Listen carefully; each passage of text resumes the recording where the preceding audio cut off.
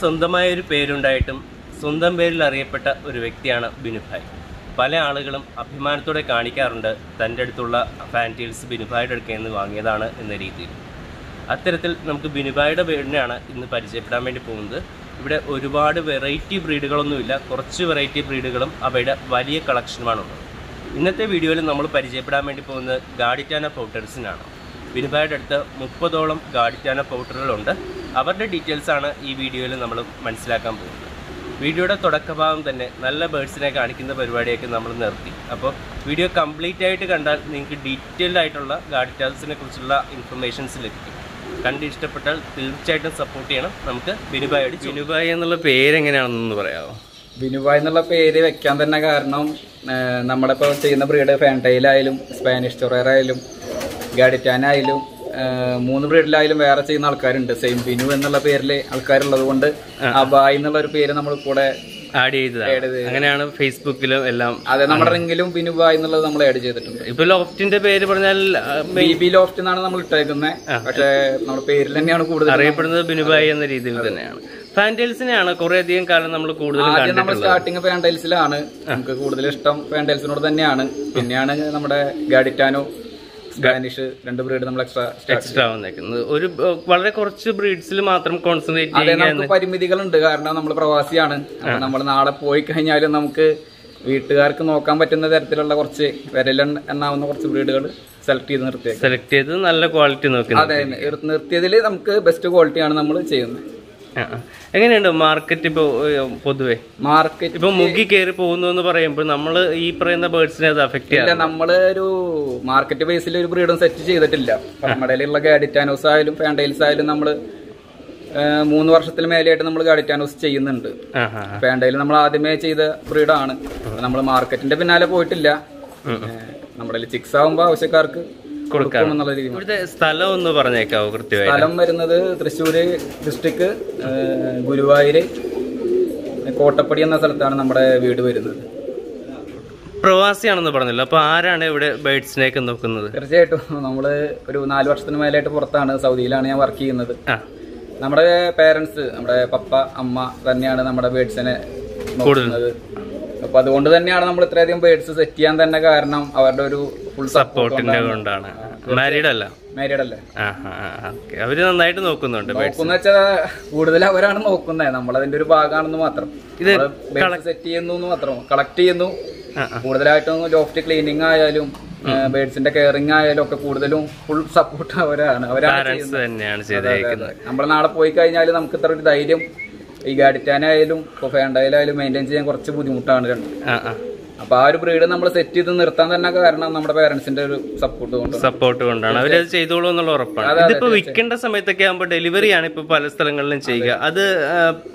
ഫാദറിന് ചെയ്യാൻ അല്ല പറ്റും. നമ്മുടെ ഫ്രണ്ട് ഉണ്ട്. നമ്മുടെ ഫ്രണ്ട്സ് വഴി നമ്മൾ ആവശ്യമുള്ളത് പറഞ്ഞാൽ അവർ വേണ്ട കാര്യങ്ങൾ ഇവിടെ വന്ന് ചെയ്തോളൂ. അങ്ങനെ ഇത് സൗഹൃദത്തിന്റെ പേരിൽ തീർച്ചയായിട്ടും സൗഹൃദം നമുക്ക് ഇതിൽ വലിയൊരു മുതൽക്കൂട്ടാണ്. പിന്നെ പ്രവാസി എന്ന രീതിയിൽ നമുക്ക് അതിന്റെ ഗ്രൂപ്പുകളുണ്ട്. വാട്സപ്പ് ഗ്രൂപ്പുകളുണ്ട് നമുക്ക് സപ്പോർട്ടീവായിട്ട് നമുക്ക് എന്ത് കാര്യങ്ങൾ അവിടെ ഷെയർ ചെയ്യാം. തീർച്ചയായിട്ടും. ഇവിടെ നമുക്ക് മറ്റ് ഓരോ ബേഡ്സിനെയും പെട്ടെന്ന് പരിചയപ്പെടാം. ഇതൊരു എട്ട് കള്ളി ആയ മെയിൽ ബേഡാണ് ഫെദർ കംപ്ലീറ്റ് ആയിട്ടുണ്ട്.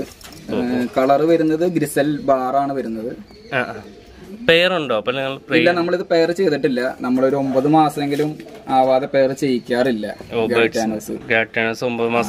പെർഫോമൻസിങ് ബേഡ് ആണ് ഗാഡിറ്റാനോ ബ്രീഡ് അപ്പൊ നമുക്ക് അതിന്റെ കറക്റ്റ് ആയിട്ടുള്ള ഒരു ഔട്ട് കിട്ടണമെന്നുണ്ടെങ്കിൽ നമ്മൾ ഫുൾ അതിന്റെ ഒരു ടൈം നമ്മൾ കൊടുക്കണം. കുറച്ച് ടൈം കൊടുക്കണം. കൊടുക്കണം തീർച്ചയായിട്ടും. എങ്ങനെയാലും ഒരു കൊല്ലമൊക്കെ ആകുമ്പോഴായിരിക്കും ഒരു ഫുൾ അതിന്റെ ക്വാളിറ്റി നമുക്ക് പുറത്തേക്ക് കാണുള്ളൂ.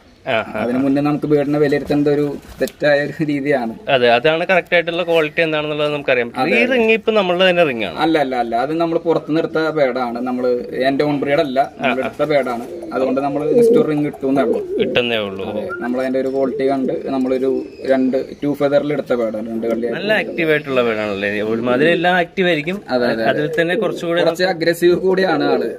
നമ്മൾ കേജ് ഒക്കെ തുറന്നു കഴിഞ്ഞാൽ ഓടി ഒന്ന് അറ്റാക്ക് ചെയ്യുന്ന ഒരു രീതി ആൾക്കുണ്ട്. അതെ ക്യാമറ തന്നെ കൊത്തിപ്പൂട്ടി പിന്നെ കൂടുതൽ അഗ്രസീവ് ആയാലും ഇവരുടെ പോട്ടിങ്ങും സ്റ്റാൻഡിങ്ങും ഡിഫറൻസ് വരും. നോർമലി നിൽക്കുന്ന രീതിയിൽ നിന്നും ഇവർ കുറച്ച് അഗ്രസീവ് ആകുമ്പോൾ മാറ്റം വെച്ചാൽ അത് ക്വാളിറ്റിയെ നെഗറ്റീവായിട്ട് നെഗറ്റീവായിട്ട് ബാധിക്കാറുണ്ട്. അപ്പൊ ഇവർക്ക് ഇപ്പോ വെള്ളക്കെട്ട് വരാനുള്ള സാധ്യത ഉണ്ടല്ലോ നോർമലി മറ്റു ബോട്ടുകൾക്ക് വരുന്നത് പോലെ തന്നെ വരുമോ അല്ലെങ്കിൽ വരും വരും. ഗാരിറ്റാനോസിനും വരും. അത് കൂടുതൽ നമ്മൾ കണ്ടിരിക്കുന്നത് പൗട്ടിങ് ഹെവി പൗട്ടിങ് ഉള്ള ബേഡ്സിനാണ് നമ്മൾ കൂടുതലും വരുന്നത്. അത് വന്നു കഴിഞ്ഞാൽ നമ്മൾ ചെയ്യാറുള്ളത് ചെറു ചൂടുവെള്ളത്തിൽ മഞ്ഞൾപ്പൊടി മിക്സ് ചെയ്തിട്ട് ഒരു രണ്ട് സിറിഞ്ച് ക്രോപ്പിലേക്ക് നമ്മൾ വെള്ളം പമ്പ് ചെയ്യാണ് ചെയ്യുക. അതിനുശേഷം ക്രോപ്പ് നന്നായി മെസ്സാജ് ചെയ്ത് കഴിഞ്ഞതിന് ശേഷം ബേഡിനെ നേരെ നമ്മൾ ഓപ്പോസിറ്റ് പിടിക്കും. കമത്ത് പിടിച്ച് ഒന്ന് ക്രോപ്പ് മസാജ് ചെയ്ത് കൊടുത്താൽ നേരെ തീറ്റയും വെള്ളവും പുറത്തോട്ട് പോയി. അതിനുശേഷം നമുക്ക് ഇനി ഇൻഫെക്റ്റഡ് ആയിട്ടുണ്ടെങ്കിൽ ഉള്ളിൽ എന്നുണ്ടെങ്കിൽ നോർമെട്രോജിലി നമ്മൾ യൂസ് ചെയ്യുന്ന മൂന്ന് ഡ്രോപ്പ് ലീ ഫിഫ്റ്റി ടുവിന്റെ സിറപ്പ് ഒരു മൂന്ന് ഡ്രോപ്പ് എല്ലാ റിക്കവറി ക്യാപ്സൂൾ ഉണ്ടെങ്കിൽ അതാണ് കുറച്ചുകൂടി ബെറ്റർ ബെറ്റർ ആയിട്ട് വരിക. ഇതപ്പോ നമുക്ക് വെള്ളം അതിനുശേഷം എങ്ങനെയായിരിക്കും കൊടുക്കുക? അതിനുശേഷം നമ്മൾ പെട്ടെന്ന് ദഹിക്കുന്ന ഫീഡ് ഞാൻ കൊടുക്കുന്നത് ഇവിടെ ചാമ തിന അതുപോലെ തന്നെ ഒരു പത്ത് മണി ചെറുപയർ അതിനുശേഷം നമ്മൾ ഒരു രണ്ട് ദിവസം അതാണ് ഫീഡ് ചെയ്യാറ്. അത് തന്നെയായിരിക്കും ഫീഡ് ചെയ്യുന്നത്. അതുപോലെ തന്നെ കൊടുക്കുന്ന വെള്ളം ലിമിറ്റ് വെച്ചിട്ട്. കുടിക്കാവുന്ന വെള്ളം മാത്രം. കൂടുതലായിട്ട് നമ്മൾ വെക്കാറില്ല. നമ്മൾ സെപ്പറേറ്റ് കേജിലേക്ക് മാറ്റാറാണ് പതിവ്. ഓട്ടോമാറ്റിക് വെള്ളത്തിൽ വെച്ച് കൊടുത്ത വീണ്ടും അവർ കുടിച്ച് വരും. അപ്പൊ രണ്ടു ദിവസം കഴിഞ്ഞ് പിന്നെ ഓക്കെ ആയതിനു ശേഷം മാത്രമേ നമ്മൾ ഈ കേജിലോട്ട് മാറ്റൂ. എട്ട് കള്ളിയായ ഫീമെയിൽ ബേഡാണ് ടൈഗർ ലൈനാണ് വരുന്നത് നമ്മൾ എടുത്ത ബേഡാണ് ഓൺ ബ്രീഡ് അല്ല നമ്മുടെ. അതിന്റെ ഒരു ക്വാളിറ്റി കണ്ട് നമ്മൾ സീറോ കള്ളിയിൽ എടുത്ത ബേഡാണ് ഇതുവരെ ബ്രീഡ് ചെയ്തിട്ടില്ല.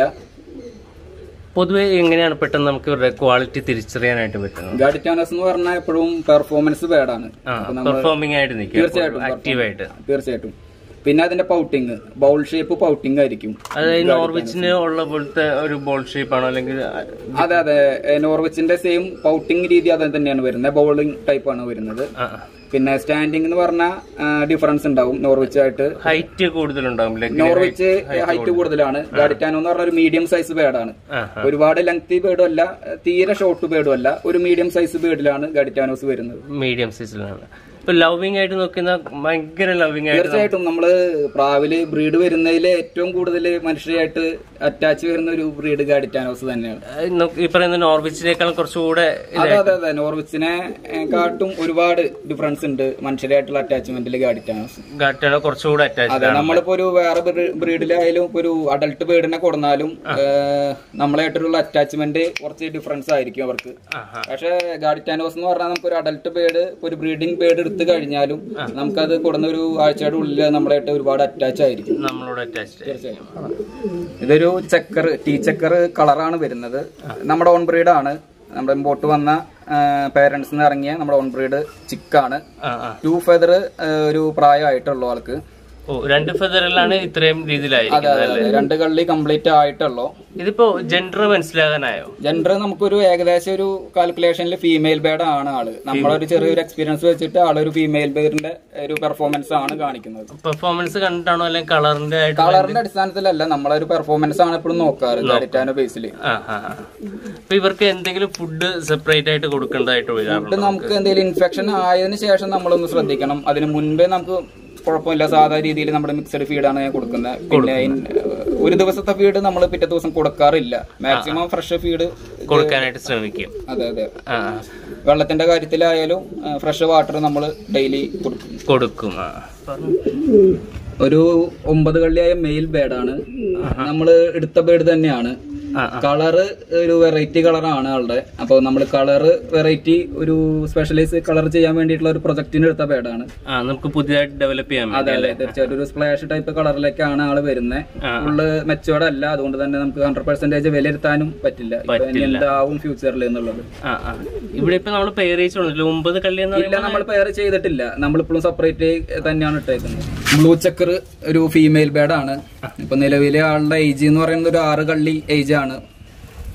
ഓൺ ബ്രീഡ് അല്ല നമ്മൾ എടുത്ത ബേഡ് തന്നെയാണ് നമുക്ക് ആൽമണ്ട് പ്രൊഡ്യൂസ് ചെയ്യാൻ വേണ്ടി നമ്മൾ കളക്ട് ചെയ്ത ഒരു ഫീമെയിൽ ബേഡാണ് ആൽമണ്ട് കിട്ടാൻ വേണ്ടി നമ്മൾ എങ്ങനെയാലും ഒരു ബ്ലൂ ബേസ്ഡ് ആയിട്ടുള്ള കളറുകളെയാണ് ഉപയോഗിക്കാറ് തീർച്ചയായിട്ടും നമ്മൾ ബ്ലൂ ചെക്കർ ബ്ലൂ ബാർ ആണ് നമ്മൾ കൂടുതലായിട്ടും ആ ഫ്ലക്കിങ്സ് റിസൾട്ടിൽ കിട്ടാൻ വേണ്ടിയിട്ട് നമ്മൾ ഉപയോഗിക്കുന്നത്. ഉപയോഗിക്കുന്നത് ബ്ലൂ ബേസ്ഡ് ആയിട്ടുള്ള തീർച്ചയായിട്ടും പിന്നെ ഇത്രയും ഡിമാൻഡ് കൂടാനുള്ള കാരണം ഈ സ്ട്രോങ് ജീനാണ് ബ്ലൂവിന്റെ. അതുകൊണ്ട് തന്നെ നമുക്ക് ആൽമണ്ടിലേക്ക് ധൈര്യമായിട്ട് പെയർ ചെയ്യിക്കാം. അതിനനുസരിച്ച് ഹെൽത്തി ആയിട്ടുള്ള കുട്ടികളെ നമുക്ക് അതിൽ നിന്ന് കിട്ടും ഓ ഓ.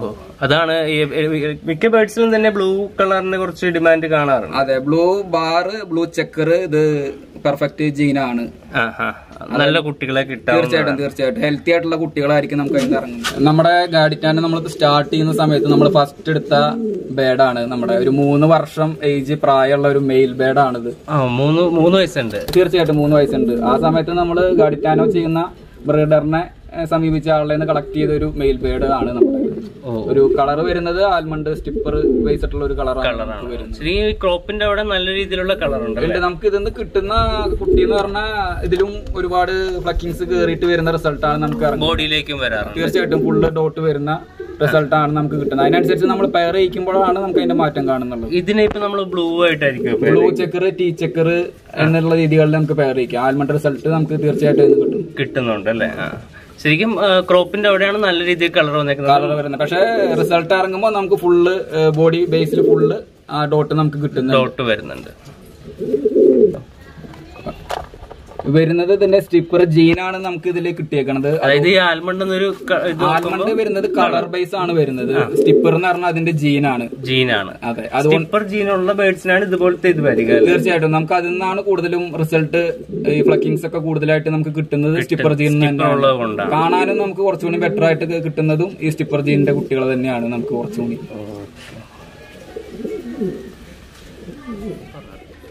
നമ്മുടെ ഒരു ബ്രീഡിംഗ് മെയിലാണ് ഒരു പതിനൊന്ന് മാസത്തോളം നമുക്കതിന് പ്രായമുണ്ട്. ഇതിപ്പോ ജെറ്റ് ബ്ലാക്ക് എന്ന രീതിയിലായിരിക്കും അതെ ജെറ്റ് ബ്ലാക്ക് ആണ് പക്ഷെ അത് ചെക്കറും ജെറ്റ് ബ്ലാക്കും നിന്ന് ഇറങ്ങിയ ഒരു ബേഡാണ്. നമ്മുടെ ഓൺ ബ്രീഡ് തന്നെയാണ് ആൾ. ശരിക്കും നല്ല രീതിയിലുള്ള പൗട്ടിംഗ് ഉണ്ട് തീർച്ചയായിട്ടും. പൗട്ടിംഗ് ഉണ്ട്. പിന്നെ നമ്മളായിട്ട് കുറച്ചുകൂടി അറ്റാച്ച് ആണ്. ബാക്കിയുള്ള ഗാഡിറ്റാസിനെ അപേക്ഷിച്ച് കുറച്ചുകൂടി കൂടുതൽ അറ്റാച്ച് ആണ് ആൾ. എന്ന് വെച്ചാൽ നമ്മളെ കൊത്തുന്ന കാര്യത്തിൽ ഇല്ല നമ്മുടെ അടുത്ത് ഇപ്പോൾ നമ്മൾ പുറത്ത് വിട്ടാലും കോളനിയിൽ വിട്ടാലും നമ്മുടെ അടുത്ത് തന്നെ വന്നിരിക്കും ആൾ എപ്പോഴും കൂടുതൽ. ആൾ മോൾട്ടിങ്ങിലാണ് അപ്പൊ ഒരു ഫിനിഷിംഗ് വന്നിട്ടില്ല. ക്രോപ്പിലൊക്കെ ഫെതേഴ്സ് പോയി വന്നുകൊണ്ടിരിക്കുന്നുള്ളൂ. വന്നുകൊണ്ടിരിക്കുന്നേ ഉള്ളൂ. അതെ ഇതിന്റെ കുട്ടികൾ നമ്മൾ ഇറക്കിയിട്ടുണ്ട്. ഓൾറെഡി നമ്മുടെ അവൈലബിൾ ആണ് സ്റ്റോക്ക് ഉണ്ട്. അതെ. ടൈഗർ അല്ലേ ഇത്? ടൈഗർ ഗ്രിസൽ ടൈഗർ എന്നൊരു പാറ്റേൺ ആണ് വരുന്നത്. പക്ക ടൈഗർ ആണെന്നുണ്ടെങ്കിൽ ഇതിന്റെ ഫ്ലൈറ്റ് ഫെദർ അതേപോലെ ടെയിൽ ഇത് full black ten feather ten feather ഫെദറെങ്കിലും നമുക്ക് ബ്ലാക്ക് ഫെദേഴ്സ് വരണം. ഓ ഫ്ലൈങ് ഫെതേഴ്സിൽ പത്തെണ്ണം ബ്ലാക്ക് ആയിരിക്കണം. അതേപോലെ കംപ്ലീറ്റ് ആയിട്ട് അതെ ബ്ലാക്ക് ആയിരിക്കണം. അതേപോലെ മഫുള്ള പേടാണെങ്കിൽ മഫും ബ്ലാക്ക് ആയിരിക്കണം. അപ്പോഴാണ് നമുക്കൊരു പക്ക ടൈഗർ എന്ന ലെവലിൽ നമുക്ക് പറയാൻ പറ്റത്തുള്ളൂ. വല്ലാതെ പറയുന്നതൊക്കെ ഗ്രിസൽ ടൈഗർ ഒരു കാറ്റഗറി വരുന്നുള്ളൂ. ഗ്രിസൽ പാറ്റേണിലെ ഒരു കാറ്റഗറി ടൈഗർ എന്ന് പറഞ്ഞാലും ഗ്രിസലിൽ വരുന്ന ഒരു കളർ ഒരു സെപ്പറേഷൻ നമുക്ക് പറയാം. അത്രേ ഉള്ളൂ. ഇത് നമ്മുടെ ഒരു ഉള്ളതിൽ വെച്ചിട്ട് ബെസ്റ്റ് ബ്രീഡിംഗ് ഫീമെയിൽ ആണ്. ഓ ഇത് ഫീമെയിൽ ആണ്. തീർച്ചയായിട്ടും. മെയിലിനെ കാറ്റി ഒരു പടി മുന്നിലാണ് ആൾ എപ്പോഴും കൗട്ടിങ്ങിലായാലും പെർഫോമൻസിലായാലും. നിൽക്കുന്നത് നോർമൽ കേസിൽ ഈ ഗാഡിറ്റാനോസിനെയൊക്കെ ആളുകൾക്ക് കിട്ടാൻ ഇത്രയും ബുദ്ധിമുട്ടുണ്ടായിരുന്ന സമയത്ത് ഇത്രയധികം ഗാഡിറ്റാനോസ് എങ്ങനെയാണ് കളക്ട് ചെയ്തതെന്ന് പറയാമോ? ഗാഡിറ്റാനോസ് കിട്ടാൻ ബുദ്ധിമുട്ട് വരാൻ കാരണം പുറത്തുനിന്ന് പേട് വരാത്തൊരു സാഹചര്യം. അതുപോലെ ഗാഡിറ്റാനോസിന്റെ ആ ഒരു ക്വാളിറ്റി മനുഷ്യരായിട്ടുള്ള ഒരു അറ്റാച്ച്മെന്റ് കൂടുതലും ബ്രീഡേഴ്സ് അറിഞ്ഞു തുടങ്ങിയത് ഈ ഈയിടെയാണ് അടുത്തെയാണ്. ഈ കഴിഞ്ഞ മാസങ്ങളിലൊക്കെ ആയിട്ടാണ്. പിന്നെ ഇതിൽ വേറൊരു ഇതെന്ന് പറഞ്ഞാൽ ട്രെൻഡിന്റെ പിന്നാലെ പോകുന്ന ഒരുപാട് ബ്രീഡേഴ്സ് ഉണ്ട്. ഒരു റേറ്റ് കൂടുമ്പോ ഇന്ന ബ്രീഡ് കളക്ട് ചെയ്യുക അത് കഴിയുമ്പോൾ ഒഴിവാക്കുക എന്നുള്ള രീതിയിൽ ചെയ്യുന്നവരുണ്ട്. ചെയ്യുന്നവരുണ്ട്. നമ്മൾ ഏത് രീതിയിലാണ് ഞാൻ പറഞ്ഞില്ല നമ്മളൊരു മൂന്ന് വർഷത്തോളമായിട്ട് നമ്മുടെ കയ്യിൽ ഗാഡിറ്റാനോസ് ഉണ്ട്. മൂന്ന് കൊല്ലമായിട്ട് ചെയ്തോണ്ട് തീർച്ചയായിട്ടും. നമ്മളിപ്പോ ഈയിടെ ആയിട്ട് നമ്മൾ കുറച്ച് ഇല്ലാത്ത കളേഴ്സ് അതേപോലെ കുറച്ചൊന്ന് ബെറ്റർ ക്വാളിറ്റി പുറത്തുനിന്ന് നമ്മൾ ബേഡ് എടുത്തിട്ടുണ്ട്. ഓക്കെ. ഇതിപ്പോ നല്ല കലക്കം വീഴാണല്ലോ നമുക്ക് ഒറ്റ നോട്ടത്തിൽ അതെ അതെ അതെ. നമ്മുടെ പറയാവുന്നതിൽ ബെസ്റ്റ് ഫീമെയിലുകളിൽ ഒന്നാണ്. പക്ഷെ ആൾക്ക് ഒന്നുകൂടി നമുക്ക് സ്റ്റാൻഡേർഡ് ബേസിലേക്ക് നമുക്ക് ഒന്നുകൂടി ആളെ അപ്ഡേറ്റ് ചെയ്തെടുക്കാനുണ്ട്. റൗണ്ട് വരണം അതെ ബൗൾ ഷേപ്പ് ഞാൻ നേരത്തെ പറഞ്ഞിരുന്നു. ബൗൾ ഷേപ്പ് രീതിയിലേക്ക് നമുക്ക് ഇതിന്റെ പൗട്ടിംഗ് ആക്കി എടുക്കാനുണ്ട്. അതുപോലെ ആൽമണ്ട് പ്രൊഡ്യൂസ് ചെയ്യാൻ പറ്റിയ ഒരു ഫീമെയിൽ ബേഡ് ആണ് നമുക്ക് ഇതിൽ കംപ്ലീറ്റ് ആയിട്ടുള്ള ഒരു ക്ലാസിക് ആൽമണ്ട് എന്ന രീതിയിൽ അതെ നമുക്ക് ഇതിന് പ്രൊഡ്യൂസ് ചെയ്യണം. നിലവിലായിട്ടില്ല ബേഡ് പക്ഷെ നമുക്ക് ചെക്കർ ബേഡ് ടീ ചെക്കർ അതേപോലുള്ള കളറുകൾ നമ്മൾ ഓൾറെഡി കളക്ട് ചെയ്തിട്ടുണ്ട് ആൽമണ്ട് ലൈനിലുള്ളത്. അതെ. അപ്പൊ നല്ലൊരു കുട്ടിയെ കിട്ടാൻ ചാൻസ് തീർച്ചയായിട്ടും നമ്മുടെ ഓൾറെഡി നമ്മൾ ഇറക്കിയിട്ടുണ്ട്. നമ്മൾ നേരത്തെ പറഞ്ഞ ടൂ ഫെദർ ഒരു ടീ ചെക്കർ ഇതിന്റെ കുട്ടിയാണ്. നമ്മൾ നേരത്തെ കാണിച്ചിരുന്നു. ഇതിപ്പോ ഞാൻ ചോദിക്കട്ടെ ഇതിപ്പോ ബോൾ ടൈപ്പിലല്ലല്ലോ ഇതിന്റെ ബൗളിംഗ് വരുന്നത്. അല്ല. അപ്പോ നമ്മൾ ഇനി അടുത്ത് സെലക്ട് ചെയ്യുന്ന ഇപ്പൊ മെയിൽ ബേർഡിനെ സെലക്ട് ചെയ്ത് കൊടുക്കുമ്പോൾ അത് ഏത് ടൈപ്പിലുള്ള നമ്മൾ ബൗൾ ഷേപ്പിൽ നിൽക്കുന്ന കുറച്ച് ഷോർട്ട് ബേഡാണ് നമുക്ക് ഇതിലേക്ക് പെയർ ചെയ്യിക്കാനായിട്ട് നമ്മൾ ഉദ്ദേശിക്കുന്നത്. നമ്മൾ മുമ്പ് ചെയ്തേക്കുന്ന അങ്ങനെ ടൈപ്പ് ബേഡാണ് നമ്മുടെ കയ്യിലുള്ള ജെറ്റ് ബ്ലാക്ക് മെയിൽ ഉണ്ട്. അതിനെയാണ് നമ്മൾ ഇതിലേക്ക് മുമ്പ് പെയർ ചെയ്തിട്ട് നോർമൽ കേസിൽ നമ്മൾ ചെയ്യുമ്പോൾ എന്താണോ കുറവുള്ളത് അതെ അത് നമ്മൾ ഇറങ്ങുന്ന റിസൾട്ടിൽ നമ്മൾ ഒന്നുകൂടി അപ്ഡേറ്റ് ചെയ്ത് എടുക്കാനാണ് ശ്രമിക്കേണ്ടത്. ഫീമെയിലിന് ഇല്ലാത്ത ക്വാളിറ്റി അതേപോലെ നമുക്ക് ആവശ്യമുള്ള റിസൾട്ട് എന്താണോ അങ്ങനെയുള്ള ടൈപ്പ് ബേഡുകൾ തീർച്ചയായിട്ടും. ഇതൊരു നമ്മുടെ ഒരു കുട്ടിയാണ്. അല്ല ഇത് ഞാൻ ചോദിക്കട്ടെ ഈ ബേഡിന് ഒരു മൂൺ മാർക്കിങ്ങിന്റെ ഒരു മാർക്കിംഗ് പോലെ ഫ്രണ്ടിൽ കാണുന്നുണ്ട്. ഫ്ലൈങ് പ്രദേശത്തിലില്ല എന്നാലും ഫ്രണ്ടിൽ ഒരു വരയൊക്കെ തീർച്ചയായിട്ടും തീർച്ചയായിട്ടും. അതൊരു നിലവിൽ ഗാഡിറ്റാനോ മാർക്കിംഗ് പാഡ് അല്ല. ഫ്യൂച്ചറിലാകാം കാരണം പലരും പല കളറിന് വേണ്ടിയിട്ടുള്ള പ്രൊജക്ട് ചെയ്തുകൊണ്ടിരിക്കുന്നുണ്ട്. ചെയ്തുകൊണ്ടിരിക്കുന്നുണ്ട്. ഇത് നമുക്ക് പേരൻസ് വരുന്നത് ഇതിന്റെ ഒരു സ്റ്റിപ്പർ ആൽമണ്ട് മെയിലും ബ്ലൂ ബാർ ഫീമെയിലും അതാണ് ഇതിന്റെ പേരൻസ് വരുന്നത്. അതിന് കിട്ടിയ ഔട്ടാണ് നമുക്ക് റെഡ് ബാർ ഒരു മൂൺ മാർക്ക് പേര്. ഒരു അഞ്ച് കള്ളി ഏജ് ആയിട്ടുണ്ട്. കോളനിയിൽ കിടന്നുകൊണ്ട് തന്നെ ആളുടെ പെർഫോമൻസും പൗട്ടിങ്ങും കുറവാണ്. സാധാരണ ഇപ്പൊ നമ്മൾ കാണുമ്പോൾ ഒരു അഞ്ച് കള്ളി നോക്കുമ്പോൾ കുറച്ച് കുറവാണ്. കുറവാണ് തീർച്ചയായിട്ടും. നമ്മളെ അപേക്ഷിച്ച് കുറവാണ്. മറ്റുള്ളവർക്ക് നമുക്കറിയില്ല. നമ്മൾ എപ്പോഴും ക്വാളിറ്റി അപ്ഡേറ്റ് ചെയ്തുകൊണ്ടിരിക്കുന്ന ഒരാളായതുകൊണ്ട് നമുക്കത് കുറവാണ്. കുറവാണ്. സാധാരണ ഇതിൽ കോളനി കിടന്നുകൊണ്ടായിരിക്കും ഗാർഡ് കാനോസ് എന്ന് പറഞ്ഞാൽ എപ്പോഴും നമ്മളൊരു ടൂ ഫെദർ മുതലേ നമ്മൾ സെപ്പറേറ്റ് ചെറിയ കള്ളികളിലാക്കി തുടങ്ങിയ നമുക്ക് കള്ളി- കാണുമ്പോൾ ഇവരിങ്ങനെ പെർഫോം ചെയ്ത് അതെ അതെ അതെ. അത് സെപ്പറേറ്റ് നമുക്ക് അതിന്റെ ക്വാളിറ്റി അറിയാൻ പറ്റും പെട്ടെന്ന്. ഒരു പെട്ടെന്ന് പെയർ ചോദിച്ചാൽ അത്രയും ക്വാളിറ്റി കിട്ടാൻ ഇല്ല ഇല്ല അതുകൊണ്ട് തന്നെ നമ്മൾ ലൈറ്റ് ബ്രീഡിംഗ് ആണ്. നമുക്ക് നിലവിലായാലും കുട്ടികൾ ഒരുപാട് കൊടുക്കാന്നുള്ള സാഹചര്യത്തിലുണ്ട്. പക്ഷെ നമ്മൾ അതുകൊണ്ട് ഫാസ്റ്റ് ബ്രീഡിംഗ് ഇല്ല. നമുക്ക് ഒരു മാസം അങ്ങനെ പോയാലും കുട്ടികളെ ഒരു പത്തോ പന്ത്രണ്ടോ കുട്ടികളെ ഇറക്കി കൊടുക്കാൻ പറ്റുന്ന വീടുകളുണ്ട്. പക്ഷെ ആ രീതിയിൽ ചെയ്താൽ നമ്മുടെ ഒരു പേരന്റ് സ്റ്റോക്ക് വീക്ക് വീക്കാവും അതുപോലെ തന്നെ പേരന്റ്സിന്റെ ക്വാളിറ്റിയിലേക്ക് കുട്ടികൾ വരണമെന്നില്ല. ഗാഡിറ്റാനോസ് എന്ന് പറഞ്ഞാൽ നമ്മളൊരാൾ എടുക്കുമ്പോൾ അതിന്റെ നമുക്ക് ഫുൾ ഫീച്ചേഴ്സ് അറിയണമെന്നില്ല. മെച്ചേർഡ് ആവണതിനനുസരിച്ചാണ് അതിന്റെ ഫീച്ചേഴ്സ് മാറുന്നത് അപ്പൊ പാരന്റ്സിനെ കണ്ടാണ് എടുക്കുക അതെ അതെ. അപ്പൊ നമ്മൾ ശരിക്കും അതിന്റെ ഒരു ക്വാളിറ്റി കൺഫേം ചെയ്ത് കൊടുക്കണം റിസൾട്ടിൽ ഇയാൾ നമുക്ക് ഇവിടെ ഇറങ്ങിയതാണോ? കുട്ടിയാണോ? നമ്മൾ ഇറങ്ങി ഓൺ ബ്രീഡ് അല്ല. പക്ഷെ നമ്മുടെ ബെസ്റ്റ് ബേഡിലെ ഒരു ചിക്കാണ്. നമ്മുടെ ഫ്രണ്ടിന്റെ ബ്രീഡായി നമ്മൾ എടുത്ത ബേഡാണ്. അതുകൊണ്ട് തന്നെ നമുക്ക് അതിന്റെ ഡിഫറൻസ് നമ്മുടെ നാട്ടിലത്തെ ബേഡും ഡിഫറൻസ് ക്വാളിറ്റി ഉള്ള ബേഡുകളും തമ്മിലുള്ള ഒരു വ്യത്യാസം ഇതിൽ നമുക്ക് മനസ്സിലാവും. അതിന്റെ ഷോർട്ട് ഷോർട്ട് ബേഡായിരിക്കും. മെയിൽ ബേഡാണ് അഞ്ച് കള്ളി ഫെതറേ ആയിട്ടുള്ളൂ. ആളും ഇതേ രീതിയിൽ കോളനിയിൽ കിടന്നുകൊണ്ട് പൗട്ടിങ് ഫുള്ളായിട്ട് വന്നിട്ടില്ല.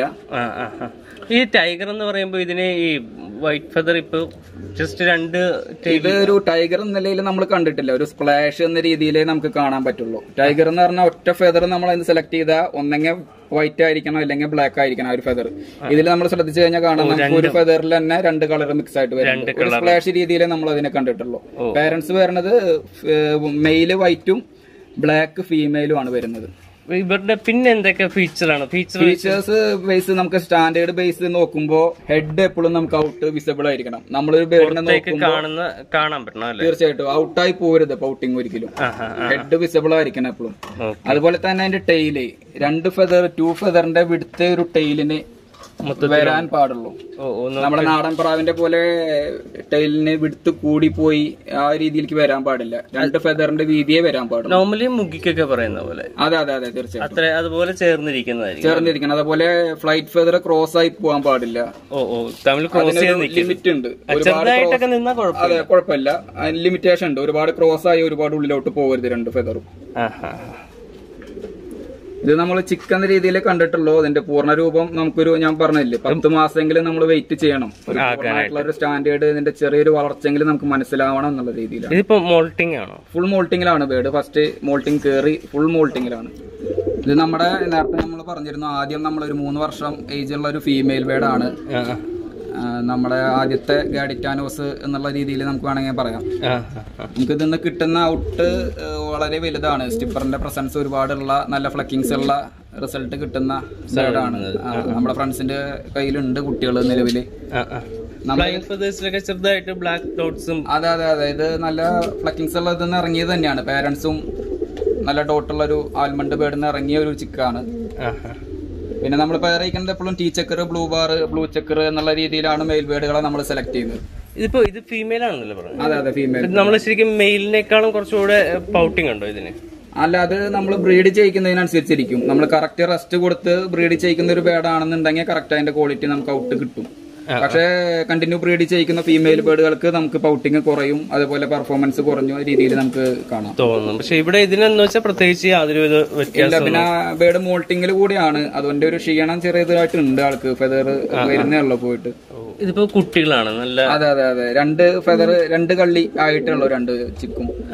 അതിൽ ഒരു കളർ റയറാണ് നമ്മുടെ കേരളത്തിൽ തന്നെ കുറച്ച് കുറച്ച് ആണ്. ആളുടെ അധികം എല്ലാ കളർ ഈ കോഫി ബാർ പോലത്തെ കോഫി ബാർ ആണ് ഇപ്പൊ അത് നിലവിൽ നമുക്ക് കാണാൻ കഴിയുന്നത്. ഫ്യൂച്ചറിൽ ചിലപ്പോൾ ഒരു ഡൺ ബാർ എന്ന നിലയിലേക്ക് മാറാൻ ചാൻസ് ഉണ്ട്.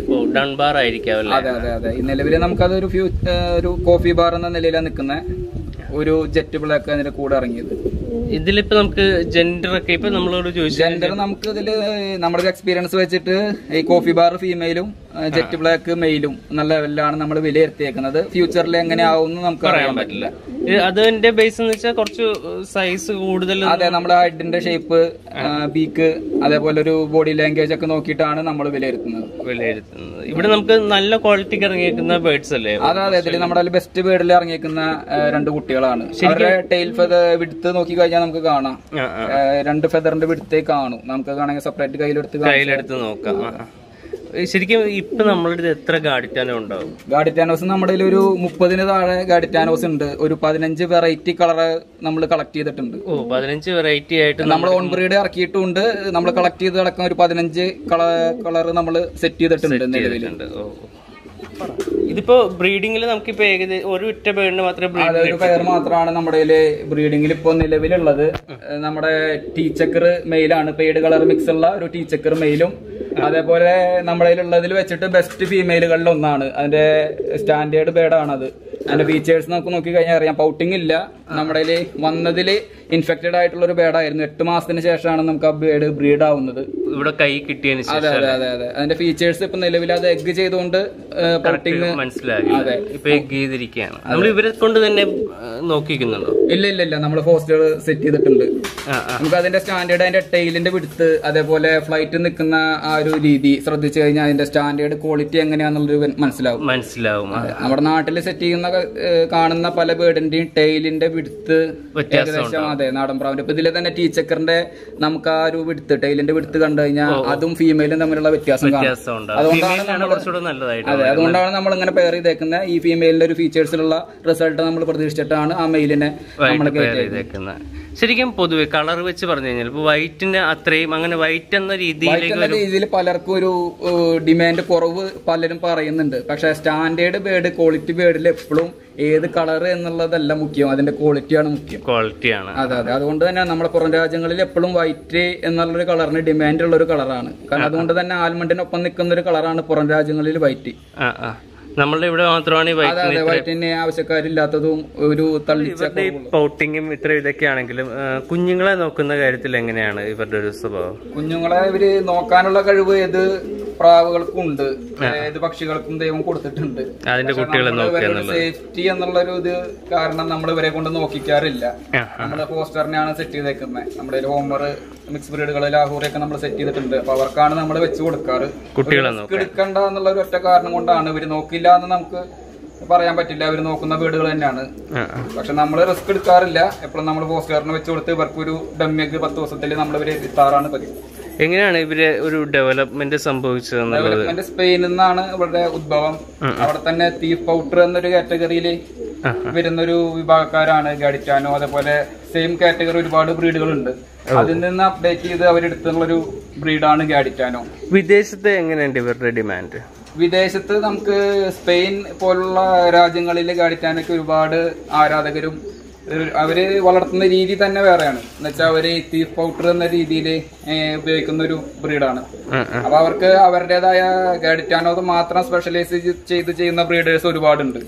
സ്പെയിനിൽ അതെ. ബ്രീഡുകളും അവിടുത്തെ ക്വാളിറ്റിയും നമ്മുടെ ഇവിടുത്തെ ക്വാളിറ്റിയും ഒരുപാട് ഡിഫറൻസും ഉണ്ട്. ബെറ്റർ ആണോ? അതെ. അവർ വളർത്തുന്ന രീതിയും ഡിഫറൻസ് ആണ്. അവർ ഒരുപാട് പറക്കാൻ കഴിവുള്ള ഒരു ബ്രീഡാണ് ഗാഡിറ്റാനും. പുറത്തേക്കൊക്കെ തീർച്ചയായിട്ടും നല്ല രീതിയിൽ പറക്കാൻ കഴിവുള്ള ഒരു ബ്രീഡാണ് ഗാഡിറ്റാനും. നല്ല രീതിയിൽ പറക്കും ചെയ്യും. നമ്മളിവിടെ ആയാലും നമ്മളിവിടെ പുറത്ത് വിടുമ്പോൾ നമുക്കത് കാണാൻ കഴിയും. അപ്പൊ അവരവരെ പുറത്ത് വിട്ട് വളർത്തുമ്പോ ഇതിന്റെ ഒരു രീതി ആ ഒരു സ്വഭാവം എല്ലാം വ്യത്യാസമുണ്ട് തീർച്ചയായിട്ടും. ഏതാണ് നല്ലതായിട്ട് തോന്നിയേക്കുന്നത് നന്നായിട്ട് തോന്നിയേക്കുന്നത് നമ്മുടെ നാട്ടിൽ നമുക്കത് സാധിക്കില്ല. കാരണം നമ്മുടെ കാക്ക അതെ അതെ.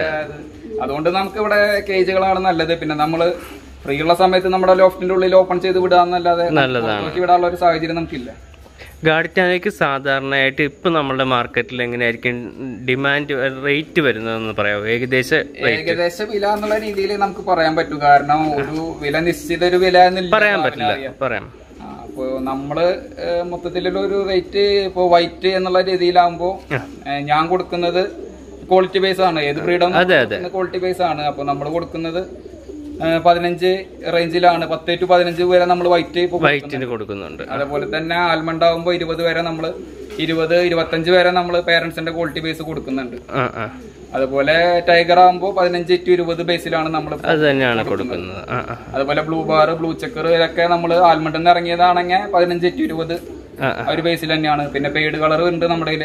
അതാവുമ്പോ കുറച്ച് താവും. ഒരു പതിനാല് പതിമൂന്ന് റേഞ്ച് ആണ്. എല്ലാം പേരൻസിന്റെ ക്വാളിറ്റി ബേസ് ആണ്. നമ്മുടെ നാട്ടിലത്തെ ഒക്കെ ആണെന്നുണ്ടെങ്കിൽ നമുക്ക് കുറയും.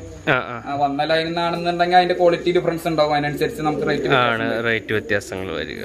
എന്ത് ഏജ് ആകുമ്പോഴേക്കും കുട്ടികളെ കൊടുക്കുന്നത്? നമ്മളൊരു രണ്ട് മാസം പ്രായമാകുമ്പോഴാണ് കൊടുക്കുന്നത്. പേരൻസ് കൺഫേം ചെയ്ത് നമ്മൾ കൊടുക്കുന്നതാണ്. ആ ഒരു ക്വാളിറ്റി നമ്മൾ കൺഫേം ചെയ്ത് കൊടുക്കുന്നതാണ്. അതുകൊണ്ടാണ് നമ്മൾ ഇത്രയും സ്ലോ ആയിട്ട് ബ്രീഡ് ചെയ്യുന്നത് പൊതുവെ കൊണ്ടുപോകുന്ന ആളുകളൊക്കെ നല്ല അഭിപ്രായമാണ് നല്ല അഭിപ്രായം. അതുകൊണ്ട് തന്നെ നമുക്കിപ്പോ ഒരു ചിക്സ് പോലും നമ്മുടെ ഇവിടെ സ്റ്റോക്ക് ഇല്ല. നമുക്ക് ആവശ്യക്കാരാണ് ഇപ്പോഴും. ആവശ്യക്കാരുണ്ട്. നമുക്ക് കൊടുക്കാൻ സാധനമില്ല. അങ്ങനെ. നമ്മുടെ ബ്രീഡിംഗ് രീതി അതുകൊണ്ടാണ് ഞാൻ വീണ്ടും എടുത്ത് പറഞ്ഞത്. സ്ലോ ബ്രീഡിംഗ് ആണ്. അതാണ് എപ്പോഴും ഹെൽത്ത് ഏത് ബ്രീഡിനായാലും പ്രത്യേകിച്ച് ഗാഡിറ്റാന്ന് പറഞ്ഞ ഒരു സെൻസിറ്റീവ് ബ്രീഡിനാണ് നമ്മൾ മെയിൻ ആയിട്ട് ഫോറിൻ മെഡിസിൻ ആയിട്ട് ഉപയോഗിക്കുന്ന നാലെണ്ണമാണ് അതിൽ. നാലെണ്ണല്ല നമ്മുടെ കൂടുതലുണ്ട്. ഇപ്പൊ സ്റ്റോക്ക് കഴിഞ്ഞിട്ടിരിക്കുകയാണ്. അപ്പൊ നാലെണ്ണം നമുക്ക് ജസ്റ്റ് ഇവിടെ ഒന്ന് കാണിക്കാം. അത്യാവശ്യമുള്ളതാണ് അതെ അതെ അതെ. Four in into one main four in one നമ്മൾ ഉപയോഗിക്കുന്നത് ഇപ്പോൾ വന്നത് ഇൻഫെക്ഷൻ എന്തെങ്കിലും ഇൻഫെക്ഷൻ ഇൻഫെക്ഷൻ നമ്മൾ കൊടുക്കാറുണ്ട്. പിന്നെ മെയിൻ ആയിട്ട് കാങ്കർ ചിക്സിനൊക്കെ ബൈ ചാൻസ് എപ്പോഴെങ്കിലും കാങ്കർ വന്നു കഴിഞ്ഞാൽ നമ്മൾ യൂസ് ചെയ്യുന്ന ഇതാണ് ഫോറിൻ വൺ പെറ്റിന്റെ ഇത് പിന്നീട് കാണുന്നത് ക്യാൻകറിനുള്ളത് അതെ അതെ. നമുക്ക് ഒരു സമയത്ത് ഫോറിൻ വൺ ടാബ് അവൈലബിൾ ആയിരുന്നില്ല.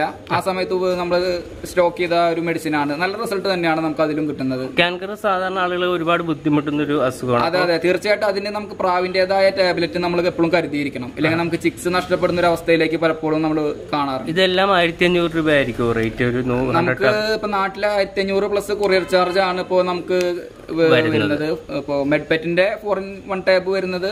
ഇപ്പൊ അവൈലബിൾ അല്ല. ഈ ലോക്ക്ഡൌണിന്റെ പ്രശ്നം കാരണം അപ്പൊ അത് നമുക്ക് രണ്ടായിരം രൂപയുടെ അടുത്ത് നാട്ടിൽ വില വരുന്നുണ്ട് അതിന്. അതല്ല നമ്മൾ പുറത്തുനിന്ന് കളക്ട് ചെയ്യുകയാണെന്നുണ്ടെങ്കിൽ ആയിരത്തി അഞ്ഞൂറിന് അതെ ആയിരത്തി അഞ്ഞൂറ് ആ റേഞ്ച് നമുക്ക് അതിന്റെ അടിയിലേ വരുന്നുള്ളൂ. അടുത്ത് കാണുന്ന ടാബ്ലറ്റ് എന്തിനുള്ള അതും ഈ കോളി കോക്സീഡിയാസ് അതേപോലുള്ള രോഗങ്ങൾക്ക് നമ്മൾ എടുത്തേക്കുന്ന ഒരു ടാബ്ലറ്റ് ആണ്. നല്ല റിസൾട്ട് തന്നെയാണ് അതൊന്നും നമുക്ക് കിട്ടുന്നത്. പൊതുവെ റിക്കവറി ടാബ്ലറ്റ് എല്ലാ ബ്രീഡേഴ്സും കയ്യിൽ റിക്കവറി അതേപോലെ ഐഡിയൽ പിൽസ് ഐഡിയൽ പിൽസ് നമ്മുടെ സ്റ്റോക്ക് തീർന്നിരിക്കുകയാണ്. നമ്മുടെ കുറച്ച് പീസേ ഉള്ളൂ.